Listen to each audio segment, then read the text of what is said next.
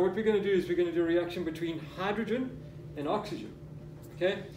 And uh, the, may, the way we make hydrogen is we use, one of the ways we make hydrogen is we use hydrochloric acid.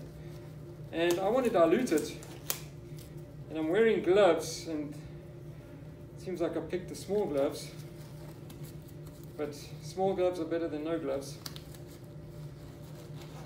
And I'm wearing gloves because I'm going to be working with concentrated hydrochloric acid. But I don't want it too concentrated. I want to dilute it. So I've got a little bit of water in here. You can see how that hydrochloric acid makes fumes. So that's about a one-to-one -one ratio. It's still concentrated. Let's put that away. So I've got some zinc. So I'm going to react zinc and hydrochloric acid. We're going to need a match because all chemical reactions need energy. Is more energy going in or more energy going out? So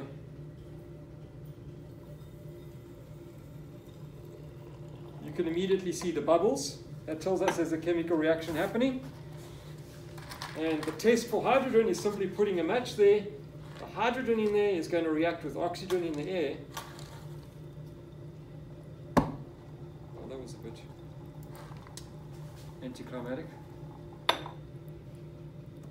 Let's try again. Anyway, that popping sound is, is really the test. I was just hoping it would be a little bit more dramatic than that. Let's try once more. Okay. Well, there we go. It wasn't, wasn't as loud as I thought it would be. You can see the nice flame over there. That flame that is burning, guys back home can see it. That's a very clean flame, okay? Because all it's producing is what? Hydrogen reacting with oxygen, what are we making?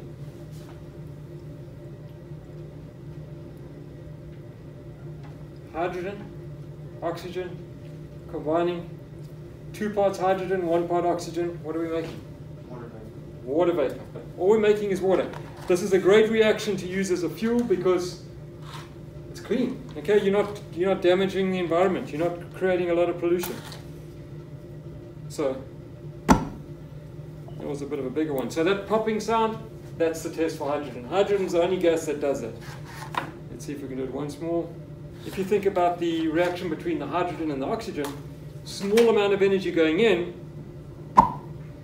and a, and a larger amount of energy coming out. This time I'm going to use nitric acid. So not hydrochloric acid, I'm going to use nitric acid and I'm going to use some pennies. Pennies are coated with a metallic element that give it this color. What is it? Copper. Okay, I'm going to pour some nitric acid on that copper, what we're going to make is we're going to make nitric oxide, which is colorless. You can't see it. But immediately, the colorless nitric oxide, which is NO, reacts with oxygen, O2, and then we make this brown gas called NO2.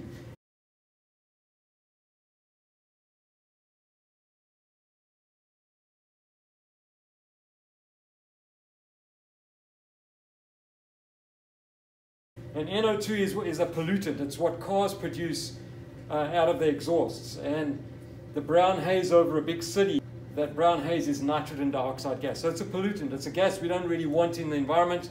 Um, you, thankfully, are not going to breathe it in because it's going to be all in the fume hood. Um, but my favorite part of this reaction comes at the end. I'm going to put in some acid.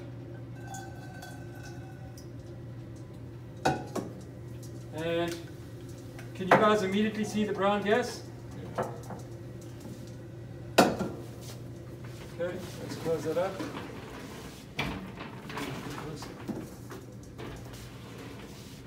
So the nitric acid reacted with copper to make nitric oxide, which is NO, and then immediately that comes into contact with oxygen to make nitrogen dioxide, which is a brown gas. Okay, and I've closed the door because we don't want to breathe any of it in. how do you guys think I could stop that reaction? Let's say I wanted to stop it now. I've already got it starting. What can I do to stop it? What did I do with my hydrochloric acid at the beginning of that reaction? Diluted it. Okay. So if I dilute the acid that's in there, I'm going to slow the reaction down and maybe even stop it. And I want you to think of the, the copper that I put in there. There's, there's a characteristic color that compounds have with copper in them. We know copper is a brownish color, but a compound with copper has got another color. Okay? And color is, a, is an indicator for chemical change. Not only the release of energy, not only bubbles, not only things getting warm, but also a color change. When you see a color change, it's going to be a chemical change. Um, I need a hose pipe, so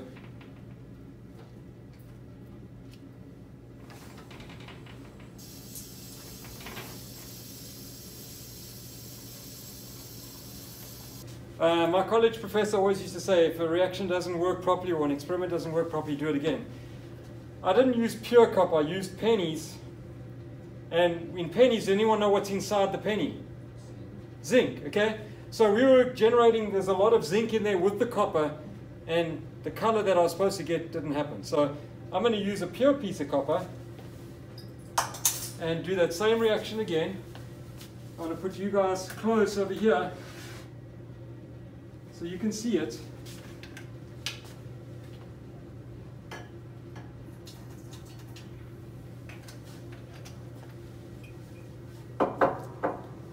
So again, you guys can see the brown gas. Okay, so now I'm going to do what I did before. I'm going to put water in there. And the water is going to mix with the copper ions. We've created some copper ions. We don't have any zinc ions this time, so the color is actually going to be the way it's supposed to be. And let's see how that happens.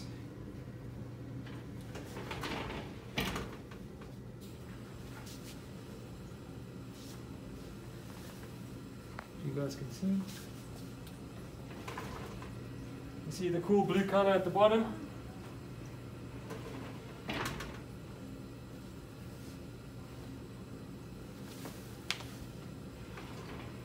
Just hold it up like that.